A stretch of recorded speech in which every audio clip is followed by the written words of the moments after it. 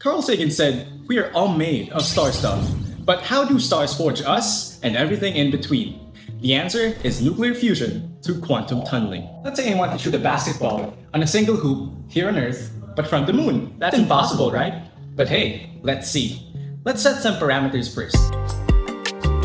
We've got other factors to consider, like air resistance, hence the countless possible trajectories it may take, and also the precise timing of shooting. Let's begin. I start attempting to shoot. Thousands of attempts later, no hmm. success. Millions? Billions? Eventually, after mind-bogglingly many attempts, I shot the ball at last. Wow, the seemingly impossible phenomenon became a reality. So our sun shines through fusion.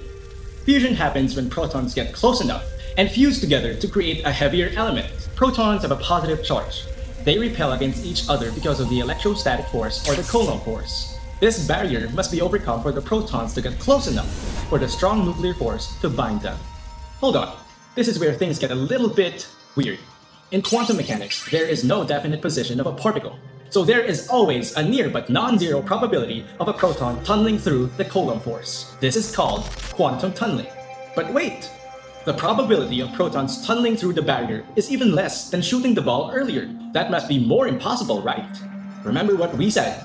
Rare phenomenon, mind-bogglingly many attempts, boom, real phenomenon. There are about 10 raised to 56 protons in the sun's core, which refers to such mind-bogglingly many attempts.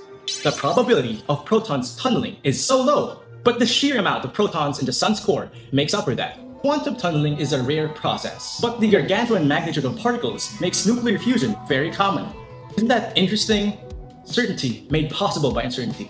Almost everything we see emerged from an improbable phenomenon that manifested itself into reality.